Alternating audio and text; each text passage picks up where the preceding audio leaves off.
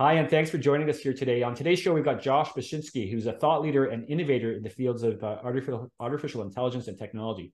Fascinating uh, conversation as we explore where technology is taking us and what we can expect to see in the future. Hi, Josh. Thanks for joining us here today. I guess from, can I say sunny Victoria? Where exactly are you? What's the, what's the weather like there? It, it's not quite sunny in Victoria, but that's kind of par for the course for, for the Pacific Northwest. Uh, we had good sun through the spring and the summer, more than usual. That's the positive end of climate change. We're getting more of a California summer, but the winters are a little harsher. So the pros with the cons. But yes, sunny-ish Victoria, we could say there we go, sunny-ish, and uh, yeah, we understand. Obviously, uh, well, I guess I'll say Canadian weather. Uh, you were a Winnipeg originally, I guess, right? Uh, That's correct. You yes. saw the light, so you know weather better than most. Uh, how, so now you know why I moved from Winnipeg to here. No, yeah. Nothing more needs to be said. yeah, there you go, and and you did school at Dal as well, right? So you did schooling on the East Coast. Yeah, correct. Yeah, so my wife and I, uh, we did our, we finished our honors bachelor degrees here on the island in a little school called uh, Vancouver Island University in Nanaimo, which is just north of me. Beautiful little town, beautiful little college. We drove all the way across Canada with three cats. Uh, uh it's a big country. Let me tell you, if anyone is ever out there ever driven across Canada, you know what I'm talking about. You think Saskatchewan and the prairies are long, just get to the St. Lawrence River. Get get to Lake Superior, get to the St. Lawrence River. It goes on and on and on. Quebec is goes forever in a straight line along the St. Lawrence. It was it was insane. And then finally we made it to all the way to beautiful Halifax, uh, which is a gorgeous city as well, which we loved quite a bit. Uh, and Dalhousie, which is a great university. That's where I did my MA. And then uh, we went to uh, closer to where you are, a little bit closer. Uh, I was doing my PhD in Toronto at York University. And just two hours down the road, down the treacherous 401, my wife was doing her PhD at uh, uh, Western University, uh, University of Western Ontario in London, Ontario. And we were doing that for a couple of years. And then we looked at each other and went, nope, we don't want to do this anymore. This is not the job we thought it was going to be. Uh, and so I came back to AI, came back to IT, came back to consulting, marketing consulting, uh, reverse engineering AIs, uh, and have not looked back since.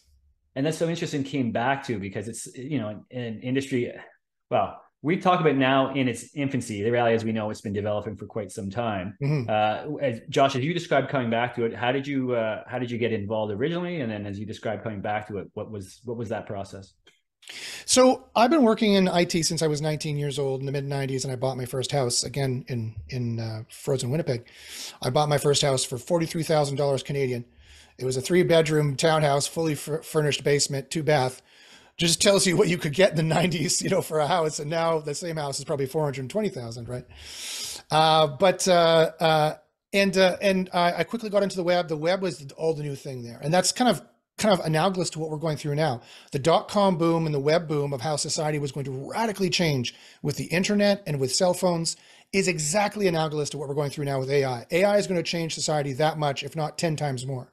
It is, it is bona fide that big of a change. It's not hype. It's not vaporware. It's not like crypto. It's not like blockchain. It's not like meta, although, although the metaverse is still clinking around and might, might come back and probably will come back as a video game of some form, but, but it's, it's, it's the real deal. And, and, and, uh, uh, people right now think AI is just, oh yeah, so it's kind of like autocomplete on steroids. It writes paragraphs for you, not very well this is just the start. Okay.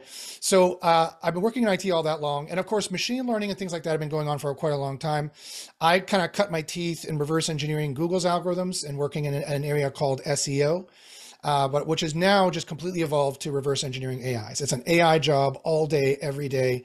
I reverse engineer AIs, I build AIs, uh, uh, that's all I do. So it's an AI job, really, in my opinion. I'm an AI consultant, and plus my my uh, my academic background was in psychology and philosophy and science, and so I use those backgrounds and I apply those to AI. So yeah, um, uh, Google's been using machine learning at least since 2007, 2006, which I've been all over the machine learning they're doing. And machine learning is just one of the techniques in AI, and especially one of the techniques that are making AI so smart. Uh, uh, they are literally learning, right? The machine learning. They're using uh, instruct methods of what humans do, and that gives an extra level of instruction. We're teaching the AI every day we use it, and we we we already we already uh, uh, associate with the average human associates with maybe five or six huge AIs on a daily basis, and that doesn't include ChatGPT. It doesn't. What are those? What are those ones, Josh? That's interesting. Yeah, those are all the marketing AIs from Google, from from from the FAANG, from Facebook, Amazon. Google, YouTube, Netflix, TikTok, all those machine learning AIs, uh, all those marketing AIs, they already know us better than we know ourselves. Should we They be concerned know- about the way we're using them, the information we're giving them? I'm extremely concerned about that. That's e- extremely concerning. Um, Why? uh, uh, people on these podcasts, and I'll give you the very, very short version of this, JP. People on these podcasts have all asked me, is AI going to destroy society? Are we going to see uh, a Matrix style moment and a Terminator style moment? And I remind people that uh, when you when when you think about warfare, if you read uh, Sun Tzu or Clausewitz, you break warfare and modern warfare by the specialists are broken down into three categories: psyop warfare or propaganda, economic warfare, and this is how they ramp up in terms of risk, and this is how they ramp up in terms of, of deployment. Psyop warfare and propaganda. You just brainwash people, right? Or you just talk to people. You try to negotiate. If you can negotiate, there's no need for war. It's much less risky. That's the first option. That's Cold War. Cold War number two, a little bit uh, harder, is economic warfare. You economically disenfranchise your opponents and you on economically booster your, your allies. That's what the US and the West has been doing successfully since World War II, which is why there has yet, knock on wood, been no World War III yet because we've economically outcompeted everybody else. Now China is starting to threaten that, right? And and you can see the, the moves the US is doing to, to disenfranchise them. Third branch of warfare is kinetic warfare. That's the boom, boom, bang, bang stuff where people get drafted blood and death and terrible things that we don't want, right? I'm making light of it, but that's absolutely what you do not want to happen. Uh, sadly, which still goes on in the world in various places. So, will AI be deployed in these three areas? Yes, for sure. 100% certainty. They're already being, to answer your question, this is my long segue to answer your question. yeah, it already is being deployed, though. Yeah, we know it's being It- deployed. It's already been deployed in marketing, in propaganda, in information dissemination, in information cla- classification, in information blocking, in, in hidden censorship that you don't get to see. Google is not a search engine. Google is a censorship engine. Facebook is not a social media platform. It is a censorship platform. It censors what it doesn't want you to see because it doesn't make them any money. All they care about is making money. So capitalism plus AI is a terrible, terrible recipe because it is all the all the evils of capitalism with pollution, economic pollution bubbles, and ecological pollution, aka the poisons that we ingest and kill us sooner. It's that on steroids. And so, am I worried about the information that we give out to to these these platforms and and the, the general environment uh, in, in particular? Yes, extremely worried. It is literally going to destroy this society. Uh, uh, uh, and I think not in like a Matrix Terminator scenario. It's not going to be cyborgs with plasma rifles walking over skulls. That's highly, highly, highly unlikely. But yes, AI drones will be deployed, and they'll be beside civilian populations, and there will be collateral damage. So and that will that is already happening. That the hundred percent is already occurring, and hopefully will be limited just to war zones. That doesn't break out in the, in, in the West in the first world, but that very well could happen there too. It could be used for policing, and we already see how the poor track record of policing uh, with people of color and BIPOC in in the West. That's going to continue to occur. So it's not going to be the sensationalized Cameron movie. It's going to be a much more boring documentary, but equally as scary. And it, and it definitely, definitely will occur. So am I worried about it? Yes. And let me tell you why I'm specifically worried about information. Because you're like, whoop-de do. Okay, so they know I like golf. Who cares? Well, here's why you care.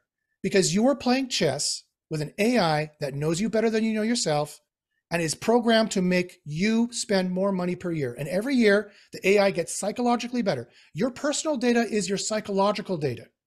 Your personal data is your psychometric statistics. And with your psychometric statistics and Bernaysian capitalism, using uh, Edward Bernays' uh, uh, theories of capitalism and marketing, uh, and Edward Bernays, for those who don't know, was literally the nephew of Sigmund Freud. Edward Bernays was his nephew. And he literally took, I don't know if JP, if you know this, but you're nodding your head, I, I guess you do. Edward Bernays literally took Uncle Sigmund's philosophies about psychology and weaponized them for capitalism and for propaganda. Applied to that were- capitalist purposes. That's right. Yeah. And so, I mean, To the make- psychology of spending, right? Exactly, to make people spend more money without realizing they're spending more money. And that's what the AI does. It hits you with that McDonald's ad or that golf ad or whatever it is that that that pushes your buttons the best to make you either angrier so you spend more. It does that too, pushing us to the left and right, bifurcating the middle. That's on purpose, guys, by the way. Or to make you, you know, whatever, uh, more more desirous for that particular thing, and they know exactly when to give it to you to, to just crank out 0.1% out of more money out of you every year to bleed the poor to the rich. It, it is a mechanism to bleed the poor to the rich because the rich don't care. The rich just want to get richer. So am I worried about it, JP? A one It's- million percent yes. yeah, it's should. fascinating to hear, you know, and it's ways that we don't realize it's being used right now. I mean, uh, for what you just described, what are some of the things that we can do to keep ourselves safe? I imagine, you know, limiting the data, right? So uh, the ability to, in all the FAANGs, to, to limit uh, the data that they're able to collect is probably the first sort of the first key thing to do, right? That you would think so, JP, and that's a good intelligent suggestion. The problem is we're already way past that. We are already way out of Pandora's box, right? So so Google and uh, the, the, the, the the Facebook, yeah, uh, TikTok, YouTube, Amazon, Netflix to a much lesser extent, those marketing uh, companies, those top you know 10 marketing companies which are the richest companies in the world because information is the richest commodity in the world and that exact information again is your psychometric data because it allows them to sell to you far uh, exponentially more uh, effectively than any society or capitalistic endeavor previous right? So that's the that's the dystopia we're in. It's not it's big brother. That that doesn't know it's big brother. It's it's it's it's the it's the truth speak or the mind speak. What was it called in big brother? Can't remember. It's the truth speak or the mind speak that you don't know is truth speak or mind speak that ai is talking to you. And you think you could hide your data from them. You can't. You can't. They know everything about you already and they know everything about your demographic. People actually sadly are not that special. We're not that different. And in the law of large numbers, we're sheep and we all do the same thing. And especially that they're pushing us further to the left and they're pushing us further to the right so that we're more predictable. Instead of the AI trying to guess what kind of sweater Josh likes, it just makes him think he's very left wing and he wants to buy the left wing t-shirts and they sell more on left wing t-shirts, right? Or to the right wing, whichever persuasion you're, you're, you're towards. Right? And, it's interesting, Josh, as you say that, because I've heard a number of people saying, I mean, I've shut mine, you know, to the extent I'm able to shut down from this information sharing. And I've had friends say, well, who cares? Like to your point, do they know I like golf? Right. Uh, as you say, it's, it's, you've got to think beyond that. You have to understand that they're taking your, you know, likeness for golf and yes, trying to get you spend there, but trying to get you or disseminating information to you that tells a certain story, right? That's that's exactly right, right. Exactly. They can profile you. They are doing digital profiling, and and with the same kind of connotations as profiling for the police, right? Almost for the same reason of, of, of acquiring targets, right? So they know you like golf, and they know that you know, they know I'm white, they know I'm 48, and they know all these things about me. Now they can infer all these other things with a very high level of statistical probability and start feeding me these other ads. That are like, oh wow, and I'll buy those things, right? They, they will upsell, they will bundle sell, right? This is how they make all this money and then they will charge people more that will charge businesses more money to use the platform so the businesses need to charge us more money in turn because the ceos and shareholders are not taking a cut and that increases inflation and cost of cost of living until we literally can't afford it anymore yeah, it's a runaway train yeah and that's the big thing because it's not i guess we're not spending the ad dollars it's the businesses that are spending the ad dollars mm-hmm. to reach the targets so we exactly. identify we provide the information businesses then spend to reach those targets. Because even as we say we buy more, if we're, I guess, uh, doesn't have to be a direct link from this discussion. We could say that you know we not may not even be buying online, uh, but you know exactly. we are in first. You know the analogy we're using here, we're we're buying things in the golf industry, uh, whether it yeah. be you know online or walking into a golf store and making a purchase there, right? Yeah, or it's or it's the Uber we took to get to the golf, or it's the shirt we bought to go golfing, or it's the food we bought after the golfing, the booze we bought after the golfing.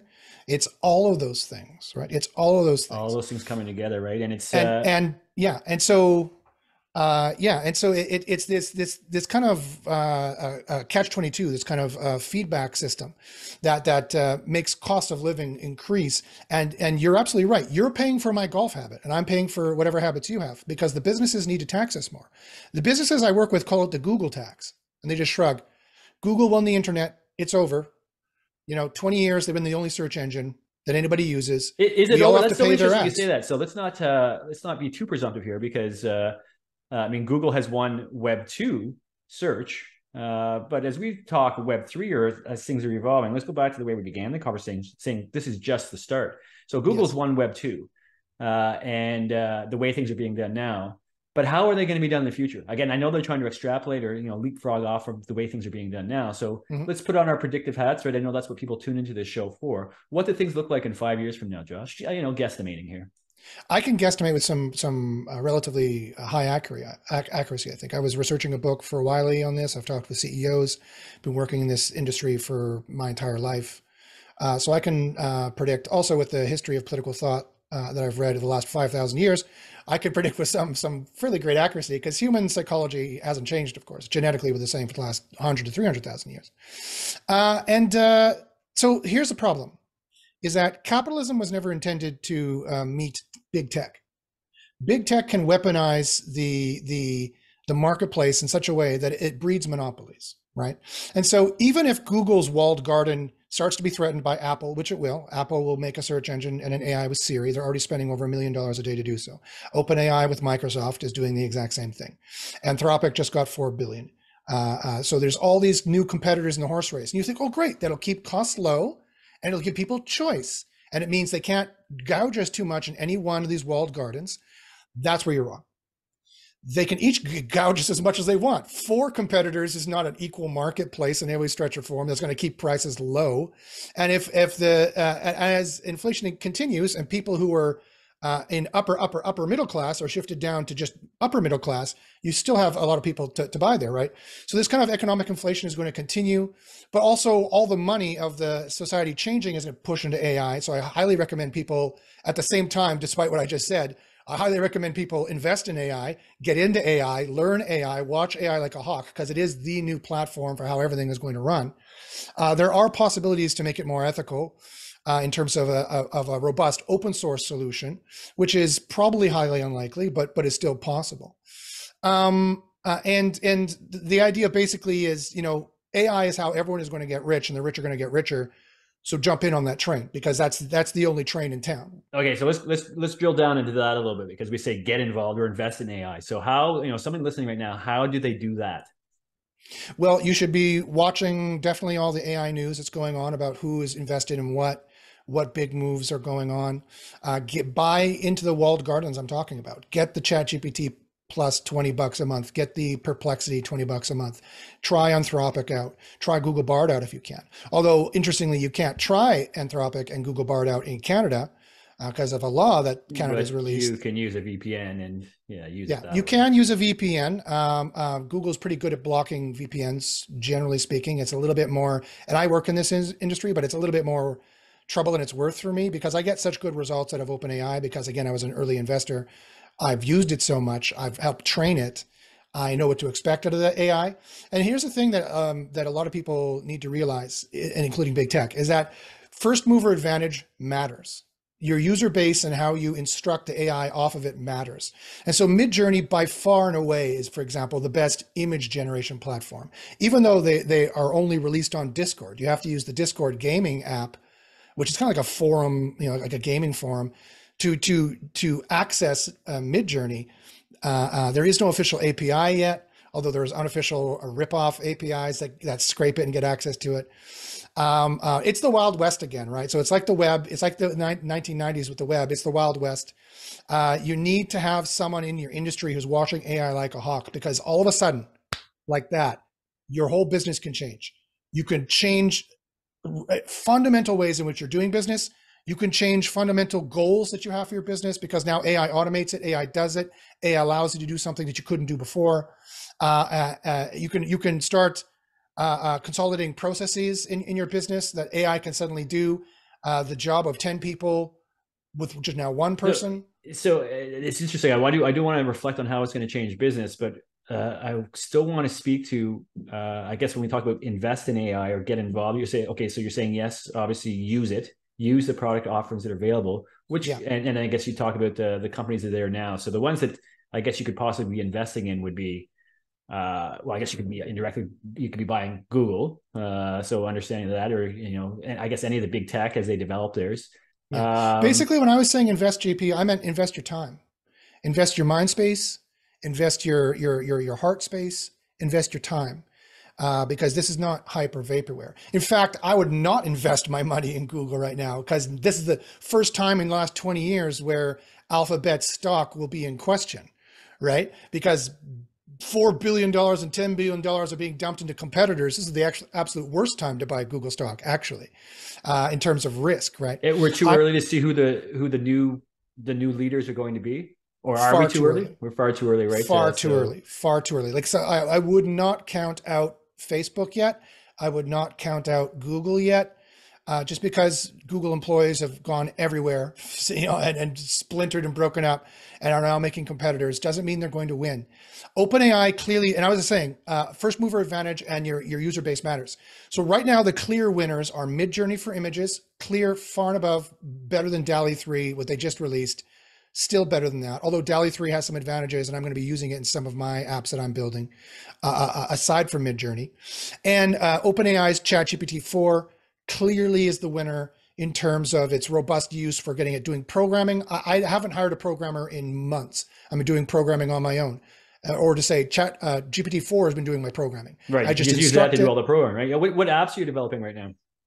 Uh, I've just a bunch of little apps. I've, I've developed an app to test other AIs. So I have all the API calls of all the AIs that are available, and I put a prompt through, and I see, I check the quality, see which one is best. Because new open source AIs, new new private uh, uh, for profit AIs are coming up every day, and they all claim to be slightly better at this or slightly better at that. And so I literally had to write a Python code to put a prompt in and show me the output of like 10 different AIs and I could eyeball them and see which one is better. And I'm going to write an AI to analyze them and then cons- consolidate the results. So, so you can start, it just, the only limit is your imagination. Mm-hmm. The mm-hmm. only limit is your time and imagination now. This is the web again times 10. You know how the web changed society and how just new things that just didn't exist previously are now a thing and old things like, uh, like uh, dialing the phone for movies. Uh, I was watching Seinfeld recently. I was noticing all the things that are dead and gone now. The white pages, having to find a number from someone, uh, not texting them, having to call them, them having to be home at a certain time to get a call. Like just all the crazy things in society that have changed. AI is going to do that times 10, times if not. Yeah, you know, and this is so fascinating. We, you know, I think we were going down the path of predicting.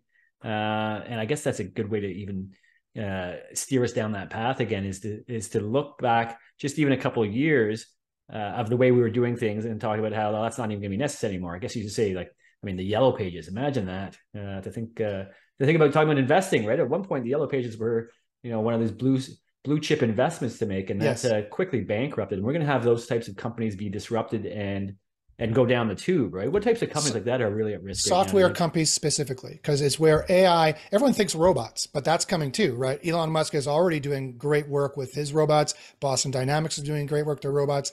Now, I don't know if they're going to be able to get the price point they're talking about.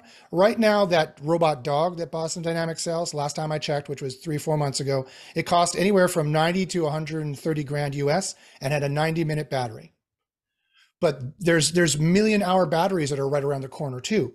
So we're going to see an explosion in robotics pretty soon, and uh, the the definition of labor in the next ten years are going to be completely redefined.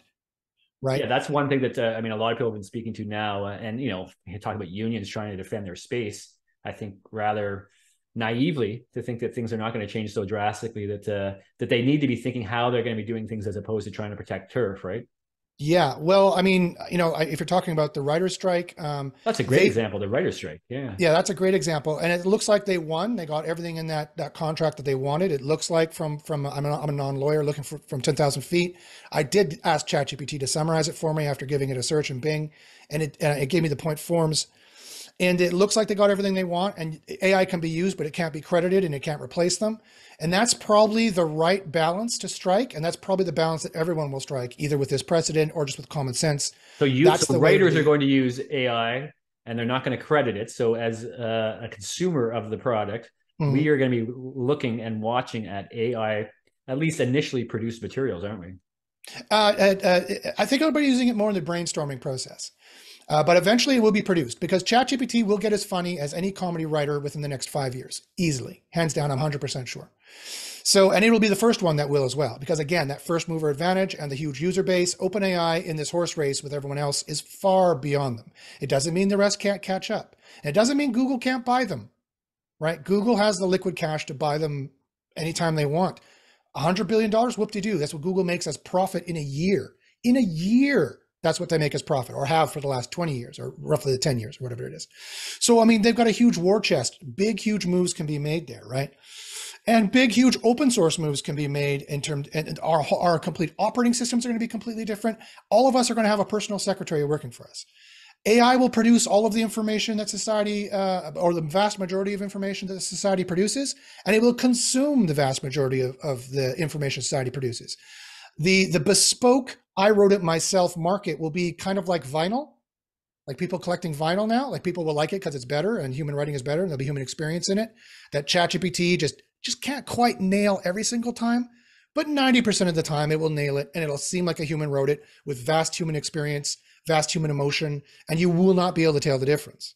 People will tune in because uh, they like the the hum or the the warm feel of, of vinyl as opposed to uh, yeah um, what the actual content is. I mean, we're seeing music produced right now, and I've listened. I'm sure you have listened to many of the yes. uh, uh, songs that are produced in. Uh, can, what are the differences between those songs and what the writers are making right now? Well, it's funny you ask because I'm also a bit of a, a an audiophile, a bit of a, a music lover, uh, playing in many bands myself, and being a bit of a considering myself a bit of an artiste in that regard. So, so take my delicate genius comments with a grain of salt, but it's disgusting, of course. It's disgusting what the AI is producing. It's it's it's it's it's soulless crap right now.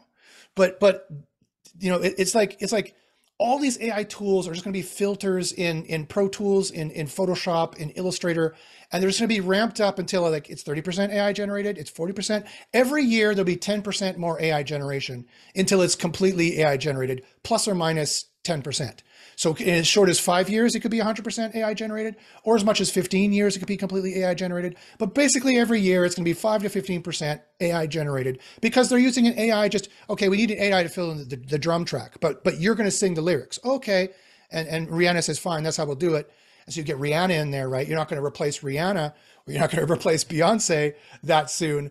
But after 10 or 20 years, it'll be so commonplace that you will. And there'll be so many you're going to have Marvel movies made on YouTube by some guy in his basement that are just as good as the current blockbuster Marvel movies or Star Wars movies, perhaps even better because they have untapped talent. Like I call this the Billie Eilish scenario, right? Now I'm not I'm a I'm not that I'm a bit of a Billie Eilish fan and I could have her backstory wrong, but I don't think I do. So if I do, to people who love her out there, I apologize. But this is the idea. She's just some kid in her basement with her with her brother, some kid in the basement and because of the, the open source commodification of software, they were able to produce studio quality level uh, uh, tracks that allowed their talent to get out, and they didn't have to go through the noise uh, of the of the of the auditioning process that goes on currently. They didn't have to move to Nashville. They didn't have to move to LA. She didn't have to sell her soul or worse things to be able to be a star because her talent was that good. And how many BIPOC, how many people of color, how many different disenfranchised people around the world have that level of talent, but they just can't break through the noise because they just don't have access to that marketplace. Well, we're AI seeing the same, yeah, and AI is going to like, uh, yeah, enable empower, that. empower, exactly. Yeah, and so movie makers, TV show makers, music makers, it's going to empower this creative thinking, and it's going to take the artistry of this and just make it go crazy. And like uh, people are going to be riffing on each other, and like meme creation, right? That, that's how we see it now. You see really creative memes, and they're one upping each other with the jokes and the funniness, and it's a it's it's a competitive marketplace that does improve the product if you think about it that way. And so if Sony's not careful, if Disney's not careful, open source is going to eat their lunch because it's already the case that my nephews and my nieces they don't watch TV, they watch YouTube. That's right. And, and they watch what people are doing there. And when the quality of YouTube gets to be on the level of like the Ahsoka show or gets to be on the level of, of The Mandalorian uh, in, in a new world with new storylines, they're going to be like, yeah, sure, fine. And of course, big, big companies are just going to start picking and choosing off of that then and hiring them and buying them and selling them and so it really depends on there was a now you're a lawyer you can speak better to this there was a landmark case uh, in in the states correct me if i'm wrong jp where uh, uh a lawyer a judge if i'm not wrong decreed that you cannot copyright ai material you cannot copyright ai material because a human didn't make it an ai did I, don't know enough about that to say I hadn't heard that case. I know that it's been it's starting to flow through the case law and there's in various different ways. I don't know that specifically yeah, I mean, interesting uh, conversation to have with one of the copyright lawyers we've had on the show. Yeah. Um, so if that is true, if it's being so, generated, yeah. So exactly, let's just follow that through to a exactly right? So who owns it? It's been generated, right? And uh, I think it's be. Well, I'll tell you who owns it. OpenAI owns it.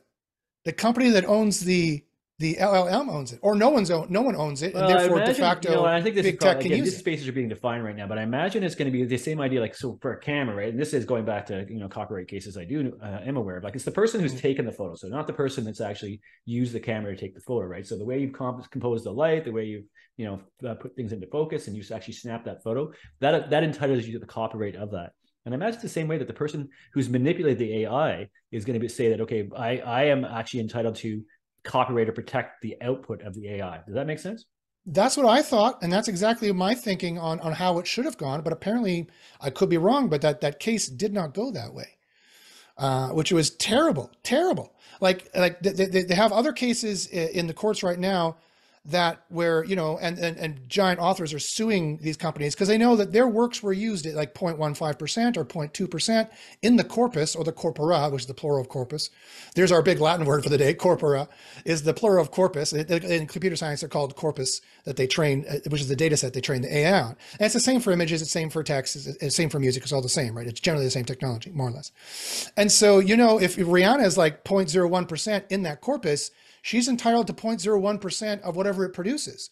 And so these big tech companies could just start paying out content creators and that makes a new marketplace and it's completely equitable. So I'm like, sure, go ahead, Midjourney, take all my images so I can get my 0.1% out of it and people start using it. I get a check every month. It's and I think beautiful that, way of so that it. is also occurring, right, to a certain degree. And it's interesting. Let's, I mean, let's steer this towards a little bit towards the blockchain. I know you talked about this is not the same thing, but it is a way of uh, by using the blockchain tracking what is produced. Can you yes. can you speak to the sort of uh, the ways that that may be used in the future as well to even monetize yes. it? Yeah, exactly. So this is where those ideas that didn't quite fully manifest more than smokeware, you know, the last in the last five or ten years, this is where they come roaring back. Blockchain is a encrypted uh, digital ledger, a public ledger technology. So it means it's shared by everybody. Everybody can read it. Everybody can look at it. Everyone knows who paid what, who did what. So it's public and open and fair. And that's the whole point of it, right? It's not some walled garden owned by some big private company that says, trust us, it's fair which is what big tech has been telling us for the last 20 years. Facebook and Google have been saying, trust us, it's fair, don't worry about it. Well, we worry about it, and we know it's not, right? I, have proven in many ways it's not. That's what my TEDx talk was about. Uh, I made in 2015, the future of Google search and ethics. It's not fair. Someone needs to hold these people to account. And, you know, I hate to say I told you so. Actually, I quite love saying I told you so. As you can tell by the glee on my face. But but I hate to say I told you so. But I was saying this five, six years ago or eight years ago now, and and now the rest of society is catching up, saying, "Hey, Google, you had this monopoly. You shouldn't have had this monopoly."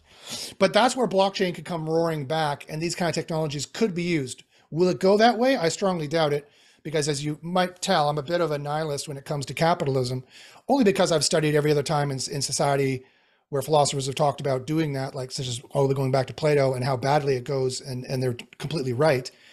Uh, it's nothing more than plutocracy or oligarchy, quite frankly, is what the current version of capitalism is. It needs to change. So when people say, "Is AI going to destroy society?" My answer is yes, it already is, and it's going to destroy. It is completely going to destroy society. Society in hundred years will be unrecognizable to what we have now because of all the inflation and wars and climate change fallout, fallout we're going to go through. So when we talk about predicting the future, uh, you need to do, predict your business and, and your monetary uh, uh, uh, aspirations and your investments, remembering that is the case. Inflation is not going away.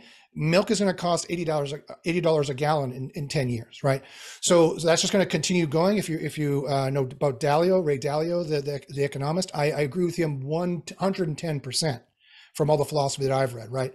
I'm not saying that the US dollar is not going to be the reserve currency anymore, but I am I'm, I'm I am saying I'm not saying the yen is going to replace it, but I think Bitcoin could easily replace it. Right? Bitcoin could very easily replace. Uh, people have more faith in Bitcoin than they do in the US dollar.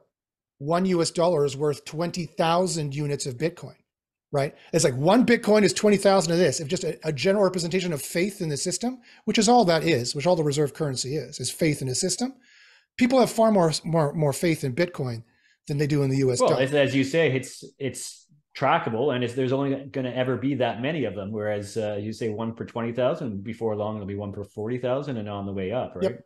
Yeah, it will. It, it, it, certainly, it certainly, and definitely will.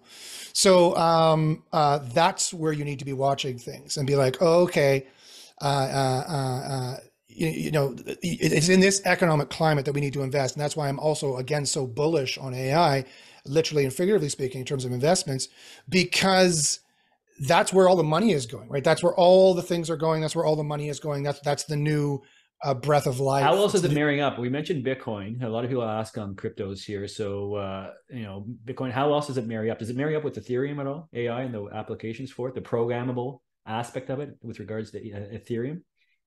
Um, you know, I, I don't believe so. This is just my personal opinion. My personal take is no. Ethereum is just doesn't have the brand recognition that Bitcoin does. And until Ethereum has the brand recognition, it doesn't have the faith. And that's that that is the lifeblood of a currency, is the faith. Yeah, what people are willing exactly. Uh, that's when you talk about a reserve currency or something that everybody accepts it as being. uh, the currency of choice. It's just a faith in that actual in that actual currency. And yeah, it, it's, it's Bitcoin gonna, has it at this point in time in, in any event. Yeah, Bitcoin doesn't quite have it all yet, of course, uh, uh, but but no, I, I, can never see a future uh, personally where where Ethereum, where you go to a store and they're like, "Do you want to pay with Bitcoin or Ethereum or USD?" Like I don't ever see that being possible. Bitcoin would be the there'll be one digital currency that people will rally around, and, and that's the bigger one, and that's that that'll be it.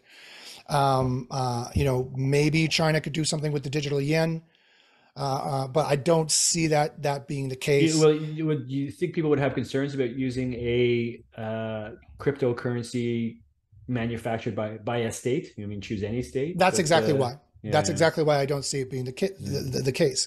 Um, because again, it, it, the, the, lifeblood of a currency is faith, and you have to have faith in the brand message. And China's brand message is is is not so friendly to the rest of the world. It's not again, it's not one of those allies in the three pillars of war right? Uh, uh, they have been. They've been doing deals behind the scenes, almost like dirty deals. They're like shaking their hands and yeah, yeah. You in your sweatshops, you make us our sweaters. You know that kind of a deal. But that's that's not going to stand the light of the day, right? If and, you go back to Ray Dalio though, and, and, he's just talking about how the winner gets to dictate, right? So at this stage, or because of uh, you know the Marshall Plan and how things emerged from the Second World War, the U.S. got to dictate for you know the, the the, period of time that we are in now but that Correct. that appears as though it's coming to an end right so why doesn't the next the next uh, superpower uh, get uh, the opportunity to dictate? Uh, I think because there's going to be a bifurcation between mili- military uh, and with AI specifically, there's going to be a, uh, currency ever since the dawn of time has always been backed up by faith. What, what is the main tenet of faith? Well, when the U.S. writes a check, it has the military power to back it up. It has the economic power to back it up, right? Ultimately, it, when push comes to shove, literally, it, it's the sword. And as, as Hobbes said, where the sword does not exist, there is no, no, there, no there is no law. There, there is no there, there's no justification, right? If you can enforce, as a lawyer, I'm sure you can appreciate this. If you can enforce the law, then there is no law, right? So I think, however, with first AI, thing we do gonna, is kill all the lawyers, right? Uh... yeah, uh, I think I think the I think, however, with AI, that's going to bifurcate because AI will now be the new weapon of choice, to be the weapon du jour, right? And so now military power is divorced from from uh, faith in the economic currency. I mean, it doesn't matter how powerful the U.S. is with its with its its guns and bombs. It only matters how powerful is entities with their AIs. Yeah, generate an AI that uh, uh, persuades the masses as to the efficacy and trustfulness of that particular currency, and then you've got yes, you've got the ability to write the rules or and or use an AI that uh, which they already have, by the way, which uh, machine learns economic uh, upturns and downturns, bull market, bear markets, and trades faster and better, and and and artificially makes these bubbles so it can trade faster and better. What, yeah, so I'm surprised, and this goes back to like you know even the Superman movie. But uh, what is the AI that's doing that? How come that has not yet been perfected? You say it's being used right now. Where is it being used? Uh, I've, there's just one article I read about it where the, the, the, the, author, it was in a major newspaper, so it wasn't like just somebody's web page. Uh, and this is not necessarily my, my my my specialty, so I don't have it memorized. Everything's personal opinion here again as well. This is not legal advice either, right? So no one's going to be taking this and suggesting there's they you know it's for some shape or form had a retainer agreement that would allow them. to Excellent, but, I'm, but, glad. But we are informing people, right? You know, this is an. Yeah, but no, this and I take truth very seriously as a philosopher, and so when I'm saying this, I'm not just whistling Dixie. I did read an article where this uh, it was a major newspaper because I know how to separate you know crap web pages from major newspapers, and that doesn't mean it's necessarily true either. News, major newspapers lie all the time, but it was a factual article pretending to be factual or uh uh, uh, uh, uh, purporting to be factual about there is already word of an economic AI, a macroeconomic AI, which has already been built and it's machine learned off the uh, the the American financial system, the stock system, the economic system, and it already predicts bear and bull markets, and it already can create bear and bull markets, and and some group, some portfolio financial uh, uh, uh, uh, movers and shakers at the top level are already using it to to uh, to uh, to affect the the the American market and the world markets in general. Whether that exists or not, I guarantee to you it will, because there's only certain ways to employ AI that make the most money, and this would be number one on all the lists. So if it doesn't already exist, which I believe it firmly does, it will very shortly. And it's certainly being worked on. And we talked BlackRock or, you know, the trillions of dollars that are uh, put into play by these huge, uh, either the hedge funds or the capital. BlackRock uh, sounds familiar. That could have something to do with it. Yeah, BlackRock may very well have been involved in that. I'm certainly, I'm certainly, if it uh, hasn't been developed yet, is something that they're working on very closely. It's something that we will see. So this is go, this is coming. Going back to sort of our, our predictions, it'd be fascinating listening to this in a couple years down the road, Josh. Right? Uh, so these predictions, I'd love to revisit it. Yeah, I'd love to revisit it, and we may very well do that. Just that. So let's talk again. Going back to investment, the way that we're going to see these these things evolving. Right? We know that the data is going to be influenced by this. We know it's going to influence the way that we do business, the way that we interact with one another and machines um, let's go get let's get into Elon a little bit and some of the predictions he's making, right? And we talk about these big companies. Uh, I mean, te- Tesla, uh, by his accounts, and, and, many people, including Cathie Wood, will say that it's the mm. greatest AI company of all time. Do you agree with that? Yep. Uh, uh I agree. with Many people say it. Uh, uh, the robotics looks really impressive from what I've seen thus far, and if they pull that off, then I would say, yeah, there's there's some contention to the claim. Um, the the reason why, and see, here's the here's the thing the reason why they haven't been able, the reason why I say no or I have any pushback to that is because they haven't been able to make self-driving cars yet. And the reason why they haven't been able to make self-driving cars yet, because they've vastly underestimated, as everyone in the AI industry has. And as a philosopher, I could talk about this. And as the creator of what I believe to be the first software AI, I can talk about this. Uh, her name is Cassandra. I, I do the Google search. I, I the, the press release is already out. I was, uh, I believe I am the father of the first software AI from my psychology background, my philosophy background. And I can, so I can speak with some authority about this is that there's, uh, they've vastly underestimated uh, uh, the difference between a Roomba with LiDAR that doesn't bump into anything, which is effectively what a self-driving car is, and an AI chauffeur. The engineering under the hood to make it think like an AI chauffeur and make all those complex orders of decisions, hundreds of decisions on a trip, ostensibly, possibly, and to know the the dozens and dozens, if not hundreds of contexts it needs to be aware of, of you, of it, if it's driving in space time, this thing called four dimensions with other cars, and a thing called rush hour, and doing this and doing that, and oh, there's a baby, and oh, there's a woman with a baby, and oh, there's a there's a homeless person walking across the street. The decisions the AI chauffeur needs to make and make small talk with you at the same time. The decisions to replicate a taxi driver, that human doing that task, they vastly underestimated the psychological requirements of what that takes right? I could tell you with professional authority. So, so is, is Tesla the best AI company on the planet? No, because they, they, they're so arrogant to think that anyone would say that, that, that, that, they've even come close to approximating that level of engineering complexity. Not even close, not even close. Google is clearly the most dominant AI company on the planet. They created the thing called the transformer. They made that and OpenAI took it and and and, and ate their lunch, and it's just kind of like like Prometheus stealing fire from the heavens. And and Google might well become that eagle to pluck to pluck out their liver every day. That could very well happen. You can't count Google out yet because all the money they have and and they've been doing this for the last 20 years right? Yeah google's got the ability to turn on an awful lot of things that we're not even aware of at this point. Uh, and yes. they've got the data as well right? So i mean openai is training on data that's not as complex and not as in, uh, involved as uh, the google data is. So not even close. that the, google's got a real opportunity to play well i guess it's catch up at this point but uh, also to leapfrog and move on beyond. It's it's catch up. Yeah but there are leapfrog moves in this game which could be easily made by someone like Google. They were the dominant player the last 20 years. They do not want to lose that. And pretty much everything else they try doesn't work as well than monetizing search. Still, they make more over 90% of their money on those ads, right? That uh, again are doing the damaging things that I've that I've been talking about. Uh, in the microeconomic sense of all the small businesses who can't afford it and go out of business, and I see this on a daily basis because they email me daily and, and beg me for help. Uh, and in the macro sense of inflating, uh, helping uh, con- contribute to inflation. Uh, so so uh, yeah, so uh, it it and that's what it comes down to, JP. Uh, and because I know you want to round this out, the future prediction, the mega prediction, the mass prediction, the golden chalice, the holy grail that everyone here is looking for is AGI. It's a it's a computer that thinks for itself, uh, on par with a human or even better than a human where you can talk to it like a human. You can say, okay, can you go into my email and email uh, te- email all the employees that you know this Friday we're, we're, we're gonna we're gonna actually take a day off and no one come to the office. And it's like, yeah, no problem. And it does it. Like it can just understand human instructions as well as your VA, as well as your personal assistant. And it, it, it absorbs all the information coming to you, filters it, and tells you what you need to know. It takes all the information from you and disseminates it and goes and does what it needs to do. It does all the searching whether it is owned by a major search engine or just uses it like a human does, right? It, it, it changes the game entirely, entirely. And that is definitely coming. It will be, it'll be here within the next second or third year, five years tops. Yeah, I was gonna say, I think it's two or three years away. Cause yeah, as you say, that's, uh, that's certainly what, uh, uh, we know, uh, is, is is the golden goose that many of these companies are working on, right? They know exactly. that, that becomes where everybody goes, and then of course, then it owns all the data there. Um, and and two major use cases which are already super popular and billions upon billions of dollars have already been invested. A companion of any shape and form, use that that word as loosely as you want, including friendship, just including talking and chatting. But also people are starting to have romantic AI companions. That's becoming mainstream. It's becoming more and more known. I'm not even talking about a robot body. I'm talking about just chatting with somebody and they tell you they love you and they're always there to support you. Sounds pretty good to me. A lot of people would like that, right?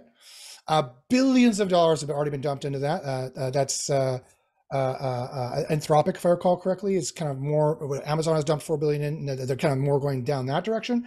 But also that blends completely and is in no way separated or, or dichotomized from the personal assistant who does tasks for you, or the the personal assistant who's both. ScarJo on the movie Her. Come come for the personal assistant who does stuff for you. Stay for the sexy voice and and the charm and the companionship. That is the holy grail that everyone is tripping over each other and investing billions upon billions of dollars and spending over a million dollar a day, some companies, to get to. This is what Siri wants to be. It's what the Google Assistant wants to be. Just in some form or another, uh, that's where they want to go, right?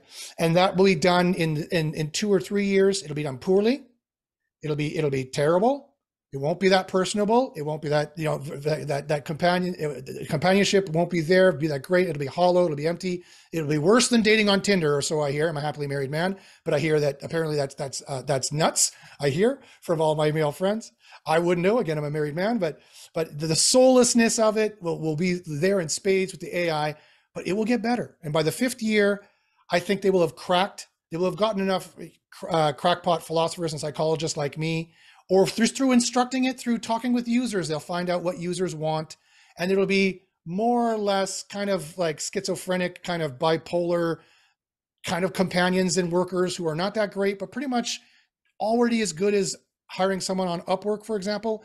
Not dissing anyone on upwork not dissing anyone overseas who you might you might outsource to but but i have to say the the user experience of using upwork lately has been terrible some some really crazy people who who are not very good workers is what I've gotten recently. Could just be me, but AI can match that easily in second in two or three years in five years. AI can do it way cheaper, way easier. Instead of 15 bucks an hour, it'll be 15 bucks a month, right?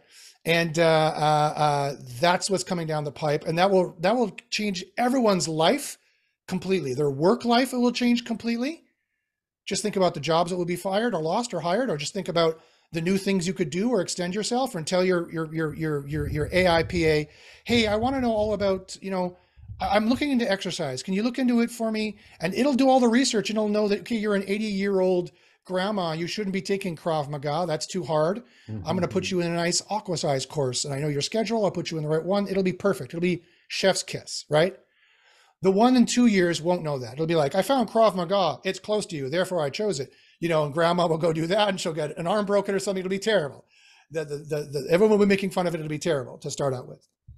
If they would adopt psychology and philosophy sooner, and if I could find tech partners who would help me perfect this system, we could jump over those terrible states and I can have a much more thoughtful, uh, emotive, human understanding. Oh, so that's interesting. So you're saying that's actually, I mean, it's going to happen anyways, but it's going to short circuit that process yeah, I could short circuit that process. My my Cassandra prototype already sh- short circuits that process. It's just that I'm not OpenAI. I can't allow a million users in to, to hammer it every day. Every thought costs me about 10 cents, right? Every time I interact with it, it costs me about 10 cents currently. So those prices will come down. And so either I'll meet them in the middle or I'll, I've already, my company has already been valued at a million dollars USD. Uh, I'm already looking for a CTO. If anybody out there wants to invest or has technical technological background, let's go for it. Because if we get 0.001% of that that golden goose market, as JP said it, we'll be millionaires, right? Yeah, and it, we'll yeah. be quickly bought by one of these these companies and just incorporate our psychology that we we we, we put into it. Because I don't underestimate the psychological uh, contexts and realities and and and the philosophical appreciations I have 5,000 years of, of philosophy and psychology to draw upon to, to build this thing. That's how I was able to kind of leapfrog them. But, but because no one is really thinking of that right now, and, and the, the discourse is so dominated by computer science, hard science, pushed in that direction, and there's a hard science, soft science divide. I don't know if you you you encountered that, JP, in your university studies. You know, you start talking psychology to a computer scientist, and they're like, "Yeah," they just write you off right away. When I start saying, you know, this is approaching self awareness, they're like, no, self awareness cannot be defined. I know it's not self aware.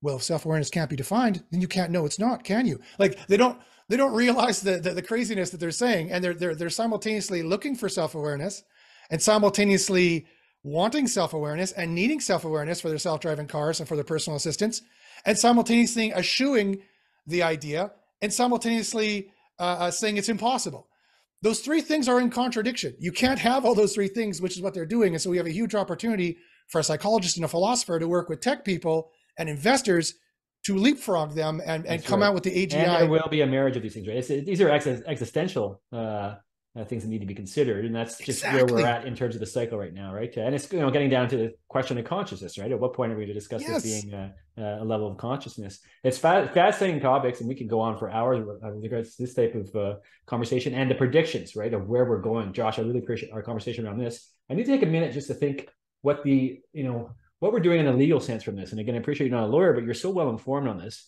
Uh, in Canada here, I think uh, there's a voluntary code of conduct that's been proposed, right? And uh, we see the industry Canada proposing that uh, companies, uh, I guess, for the lack of a better term, sign on. Um, and we know that these type of initiatives are are being proposed throughout uh, the Western world. We hear Elon yes. proposing that there's you know a regulatory body body be created in the U.S. as well. Are these things that actually make sense? Are these things that actually make sense in in the sense uh, that actually will have any effect at all uh, given the way that AI is going to develop from here on out?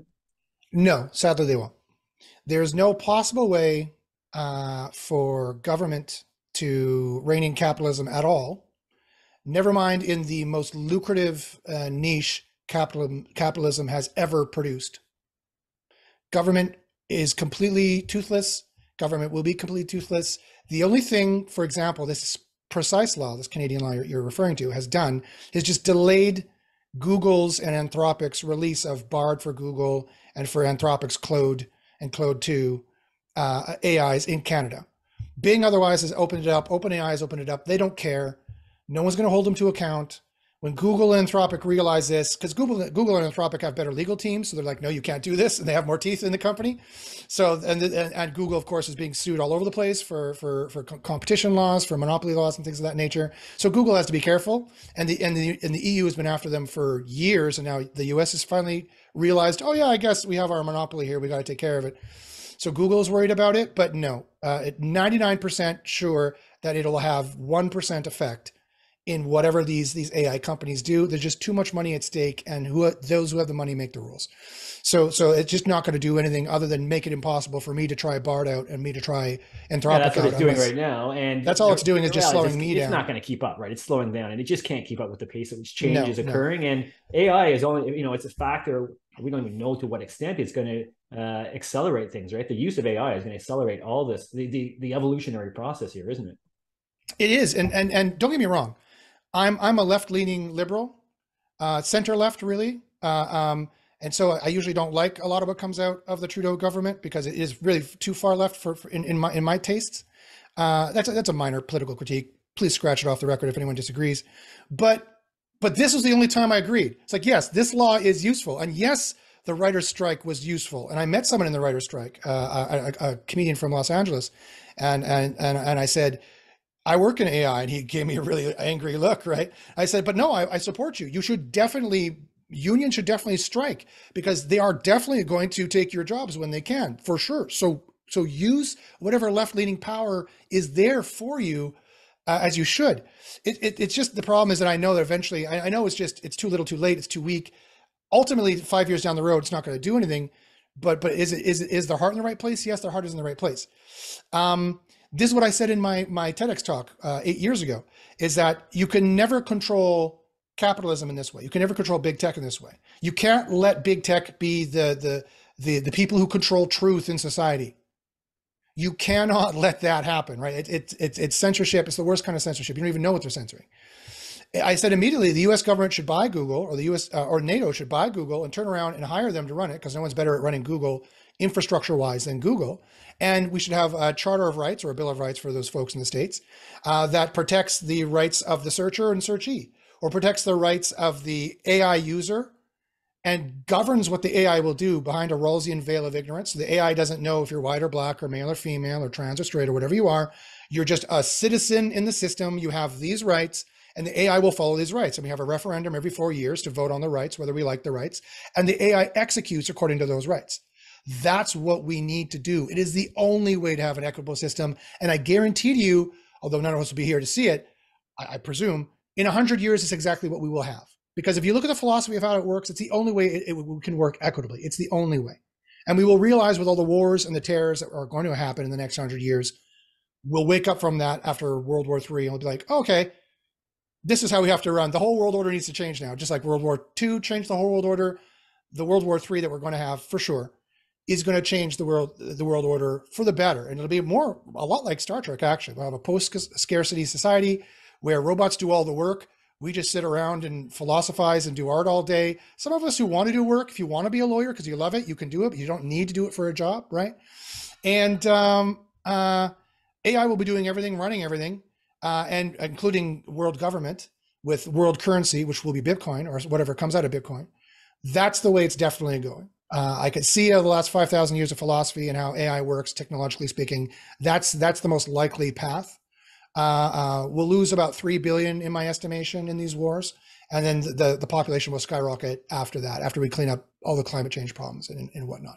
The, the human race is definitely not going to die by any stretch of the imagination. And there will not be Terminator wars shooting plasma lasers all over the place. There will be in, in combat zones, but not, not around the world. We're not going to lose control of AI. That just doesn't happen. The Terminator scenario is, is completely ridiculous. It's a beautiful movie. Don't get me wrong. I love James Cameron's movies and I love seeing Arnie, you know, saying I'll be back and all that stuff. But the, but but but they're not going to lose control of their AGI. The, the military that's not going to happen. Uh, uh, that just a five star general doesn't give his firing command codes away to an AI to some computer that does not occur, right? So so that is definitely not going to happen. But they will lose control of it on a small scale, and it will sadly kill civilians here or there, as they already do. But AI running the show will actually do it much more effectively with a much more perfect operational record. The collateral damage will actually go down. Yeah, there may be less, AI which running. is fascinating. I think. Yeah. Uh, Josh, uh, really fascinating conversation. As I say, we could go on all day with this. Uh, it's been great to think what it's going to look like five years, and then, as you say, hundred years. And it's hard to uh, uh, it's hard to disagree that we're not going to see a lot of the things that you've just uh, you've just alluded to actually occurring. Uh, right now, you're developing things, obviously, uh, and working at a frenetic pace. What's the best way to reach uh, reach you if someone's interested in learning more? If someone's interested on on, on a light uh, a light light touch, uh, just follow me on Twitter uh, at Josh Bachynski, J O S H B as in Bob, A C H Y as in YouTube, and as in Nancy, S K I. And then if you want email, you want you want to email me directly or talk directly, that, that's fine by me. Go ahead and email me. Again, it's the same name, Josh Bachynski at gmail.com. That's J O S H B as in Bob, A C H Y as in YouTube, N as in Nancy, ski at gmail.com. And uh, yeah, I, I'm I'm I'm stuck right now. I'm waiting for investment. You know, I'm I'm just one psychologist philosopher who I think sees the forest for the trees, and I think we could make a better a better AGI or at least get bought out by somebody and, and make some money. So if someone in tech out there wants equity, I've got a million dollars uh, a company here already valued to, to to to start sharing around. If people are interested, let me know if you're interested in more AI consulting or talking about more uh, micro AI stuff, uh, by all means, email me as well. Josh, that's absolutely fantastic. Thanks for this. Uh, we will we will revisit this conversation, right, to look at how the business is going and obviously how the uh, how uh, AGI is developed uh, or continue to develop from here. Uh, so thank you very much for this. I like to end these shows with one thing someone listening here can take with them to the rest of the day, the rest of the week. We alluded to some things in this conversation here, but if you're you know you're talking to somebody or in someone's ear right now, what's something that they can do to make a big difference, I guess, for their and maybe those around them, their uh, near and uh, longer term futures on a go forward? What I would say is you need to invest your time and your mind space in AI now. Start looking at what's going on, sign up for a newsletter, or or task someone in your company that it's they're the AI czar. That's their job to keep a laser focus on AI because it can change your business for the better or worse like that. And every day it's just something new comes out and it's just insane that, that, you know, my business has changed. I'm making, uh, my revenue has doubled since AI has started and now the new AI companies that I've done because I was a first adopter. This is the thing to watch, both for risk mitigation, but also for possibilities. And, and I like to say on these things, AI is going to destabilize. Yes. It's going to take jobs away. Yes. But it's also going to make new jobs. As many jobs as it takes away, it's going to make new ones. You might need to pivot really quick. In a business, in a job, you might need to pivot really quick. So watch it. Use ChatGPT if you can. Use Midjourney if you can. They're the they're the front runners right now. That could easily change. Invest in it. Watch it. At least watch it uh, if you can. And if you can't, uh, uh, parcel it out to somebody else you trust. And if, if failing that, if you have the time, just start using it. See how it thinks. See how it talks. See how it gives you stuff. Buy the twenty dollar per month thing for whatever and see what it does. And you're going to see, you're going to start to find, use your imagination. Ask it, how can I use you? What's the best ways to use you? Talk to it like a human, and you're going to start to see some magic happen. And magic is happening here. Thanks so much for this here today, Josh. I look forward to the next time on the Millionaire's Lawyer.